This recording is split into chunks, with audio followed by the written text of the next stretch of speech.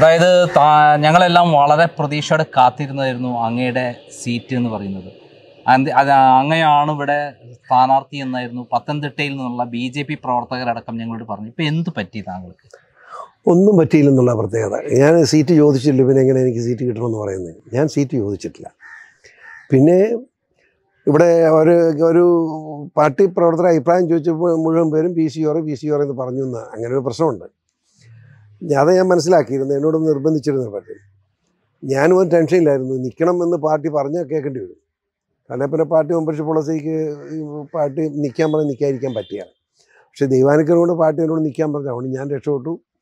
ഇപ്പോൾ ഒരു തർക്കമില്ലാതെ എനിക്ക് സ്വസ്ഥമായി ജീവിക്കാൻ കഴിയുന്നുണ്ട്. ഇത് വളരെ നന്നായി എന്ന് എന്റെ അഭിപ്രായം. അതായത് താങ്കളെക്കുറിച്ച് തോമസ് ഐസക്ക് പറഞ്ഞിരിക്കുന്നത് പട്ടി ചന്തയ്ക്ക് പോയ പോലെ ബി ജെ പി പോയി അവസാനം മോദി വന്നപ്പോൾ പ്രസംഗിക്കാൻ പോലും സമ്മതിക്കാതെ ഇറക്കി വിട്ടു എന്ന് ആണ് ആക്ഷേപം. എന്താണ് അങ്ങേക്ക് തോമസ് ഐസക്? അല്ലേ പറഞ്ഞു ഐസക് പറഞ്ഞ സാരമില്ല. അവന് ആരാ നിങ്ങൾക്കറിയോ ഞാനും അവനോട് ഒരുമിച്ച് തേവരക്കുളയിലുണ്ടായിരുന്നു ഇവൻ തേവരക്കുള പി ഡിഗ്രി പഠിക്കുമ്പോൾ ഞാൻ ഡിഗ്രി ബി എസ് സി ഫിസിക്സിൽ പഠിക്കുക.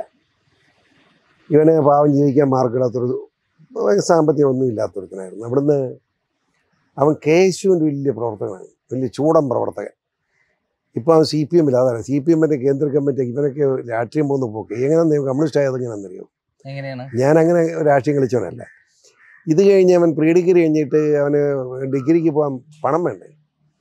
അപ്പം മാരേജ് സ്കൂൾ അഡ്മിഷൻ കിട്ടും. മാർക്കുണ്ട് പക്ഷേ ഈ കോസ്മോപൊളിറ്റൻ ഹോസ്റ്റലുണ്ട് അവിടെ.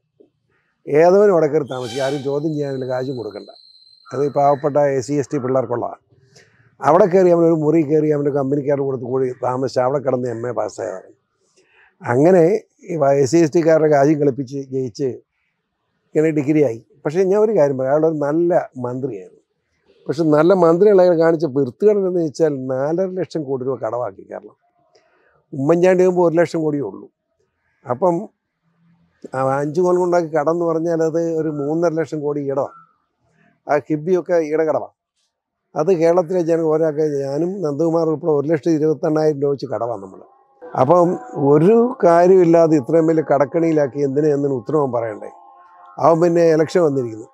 പത്തനംതിട്ട ഐസക്കിന് എന്താ കാര്യം? പൂച്ചയ്ക്ക് എന്താ പൊന്നൊരുക്കുന്നിടത്ത് കാര്യം? ഐസക്ക് ആലപ്പുഴക്കാരനാണ് ഈ രാഷ്ട്രീയക്കാരെല്ലാം സമുദായ പരിധികൾ നോക്കും. സമുദായ പരിഗണന നോക്കി ഐസക്കിന് സമുദായം എന്ന ലാറ്റിനാണ്. കോട്ട ഈ പത്തനംതിട്ട ജില്ലയിൽ ഒരു ഒറ്റ ലാറ്റിനോട് പോലും ഇല്ല ഒരു കുടുംബം പോലും ലാറ്റിൻകാരില്ല. ക്രിസ്ത്യൻ കമ്മ്യൂണിറ്റി എന്ന് പറഞ്ഞാൽ Orthodox C S I Marthoma Catholic അങ്ങനെയുള്ള സഭകളൊക്കെ പെന്തിക്കോസ്റ്റൊക്കെ ഉള്ളത്. പിന്നെ എന്തിനും വന്നു ഇവിടെ? ഏത് മാനദണ്ഡവും ഇല്ല. അപ്പം ഞാൻ മനസ്സിലാക്കിയത് പിണറായി വിജയന് അടുത്ത അയാളുടെ മകനെ മരുമകനെ മുഖ്യമന്ത്രിയാക്കണമല്ലോ. അതിന് ശല്യമായിട്ട് വരാമെന്ന് ഒരുത്തനാണ് ഐസക്. അപ്പം ഐസക്കിനെ ഇവിടെ പത്തനംതിട്ടയിട്ട് തോപ്പിച്ച് കളഞ്ഞാൽ പിന്നെ വീട്ടിൽ പോയി ഒരു ശല്യം തീരുമില്ല അങ്ങനെ മരുമകനെ മുഖ്യമന്ത്രി പദത്തിലേക്ക് എത്തിക്കാനുള്ള ഒരു കുറുക്ക് വഴി എന്നതിലാണ് ഈ ഐസക്കനെ പിടിച്ച് ഇവിടെ കൊണ്ടിട്ടിരിക്കുന്നത്. അവൻ ദയനീയ പരാജയമായിരിക്കും അറിയുമോ? അതായത് അദ്ദേഹം പറ അദ്ദേഹത്തെ തെരുവിൽ വെച്ച് ജനങ്ങൾ നേരിടുമെന്നാണ് താങ്കൾ പറഞ്ഞത്. അതിനെക്കുറിച്ചും അദ്ദേഹം വളരെ വയലന്റ് ആയിട്ടാണ് പറഞ്ഞിരിക്കുന്നത്. ആരാണ് പി സി ജോർജ് പറയാൻ?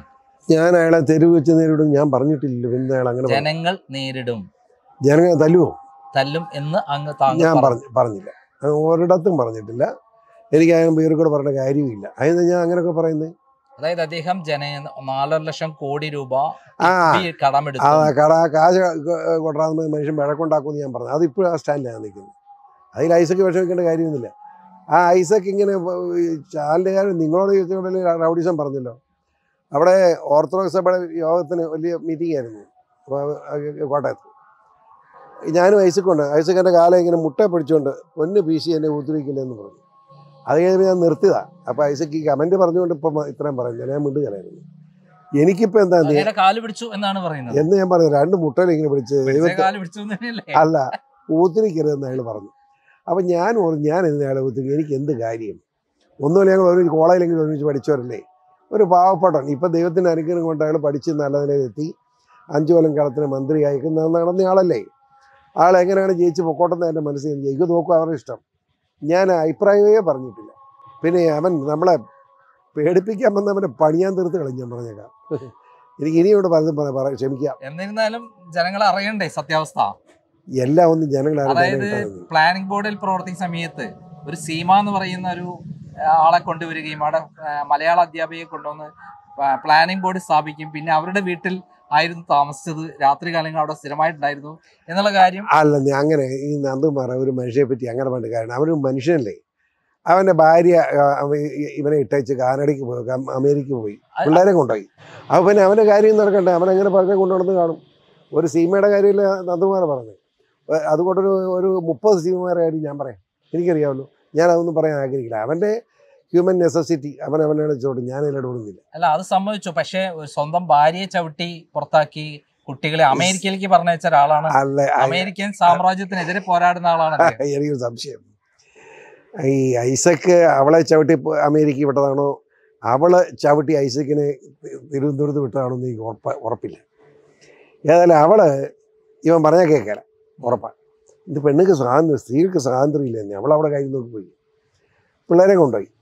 പിള്ളേരെങ്കിലും ഇവന് കൊടുക്കണ്ടേ? പിള്ളേർ നീ മനുഷ്യ തള്ളക്കല്ലേ വാശ. അവൾ കൊണ്ടുപോയി. അവനൊരു നിരാശന ആ കാര്യത്തിലൊക്കെയാണ് എന്റെ അഭിപ്രായം. അതുകൊണ്ട് അവനിങ്ങനെ ഈ സീമമാരെയും ആരെങ്കിലും കൂടെ എനിക്കറിയത്തില്ല ഏതെന്ന് കേട്ടോ കൊണ്ടു നടക്കുന്നത് എനിക്ക് ഉത്തരവാദിത്വമുണ്ട് ഞാൻ പറഞ്ഞിട്ടുണ്ട്. എന്നത്? മൂന്നാർക്ക് വരാൻ വേണ്ടിയിട്ട്. അശോകനെ ഇതെറിയും പറഞ്ഞിട്ടുണ്ട്. പിന്നെ നമുക്ക് തന്നെ കേട്ടോ? ഞാൻ അതിനൊന്നും ഇടപെടുന്നില്ലേ. അതുപോലെ മനുഷ്യന്റെ വ്യക്തിപരമായ കാര്യമില്ല. ഞാൻ കക്ഷിയാകുന്നില്ല. അല്ല എന്തായാലും തോമസ് ഐസക്ക് നമ്മൾ ആ കാര്യം വിടുക. അത് അദ്ദേഹത്തിന്റെ വ്യക്തിപരമായ കാര്യമാണ്. അയാൾ കല്യാണം കഴിക്കുക കഴിക്കാതിരിക്കുക ഭാര്യ ഇതാക്കിയൊക്കെ ആവട്ടെ. പക്ഷേ ഇവിടെ നമ്മളെ പ്രശ്നം എന്ന് പറയുന്നത് അദ്ദേഹം കിഫ്ബി വഴി ലോൺ എടുത്തത് വഴി നമ്മളെല്ലാം നാല് ലക്ഷത്തി അറുപത്തി അൻപതിനായിരം കോടി രൂപ കടം കടമാണ് അതായത് കേരളത്തിൽ മൂന്നര ലക്ഷം മൂന്നര കോടി ജനമാണ്. ഞാൻ നമ്മൾ ഓരോ കണക്ക് നോക്കിയപ്പോൾ അതിന്റെ ഏകദേശം ഒരു ലക്ഷത്തി ഇരുപത്തെണ്ണായിരം രൂപ കടവാണ് ഓരോ വ്യക്തി കേരളത്തിൽ അത് അങ്ങനെ കടക്കാരനാക്കാൻ എനിക്ക് എന്താ അവകാശം? വെറും മൂന്നര ലക്ഷം കോടി രൂപ കടമുണ്ടായ ശ്രീലങ്ക ആഭ്യന്തര കലാപം ഉണ്ടായി.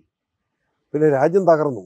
അവസാനം അമേരിക്ക ചൈന അന്ന് വേണ്ട അറേബ്യൻ രാജ്യങ്ങളൊക്കെ സഹകരിച്ച ഇപ്പോൾ അവിടെ ഒരു ഭരണം വരുമുണ്ടായി ശ്രീലങ്കയിൽ. അപ്പോൾ ഇതൊരു കൊച്ച് സ്റ്റേറ്റാണ് നമ്മുടെ നീളം തന്നെ ഉണ്ട് അറുന്നൂറ് കിലോമീറ്റർ നീളമുണ്ട്. ആവറേജ് വീതി അറുപത്തേഴ് കിലോമീറ്റർ. രണ്ട് പോയിന്റും സീറോയാണ് അപ്പം നടുക്ക് നോക്കി പോയിട്ട് ടോട്ടൽ എടുത്ത അറുപത്തേഴ് കിലോമീറ്റർ വീതിയുള്ളൂ. ആ അങ്ങനെയുള്ള ഒരു സ്റ്റേറ്റ് കൊണ്ടുപോയി ഇതുപോലെ കടക്കണിയിലാക്കുന്ന ഈ മനുഷ്യനാണ്. ദൈവം ചുറ്റിക്കുമല്ലോ ഒരു സംശയം വേണ്ട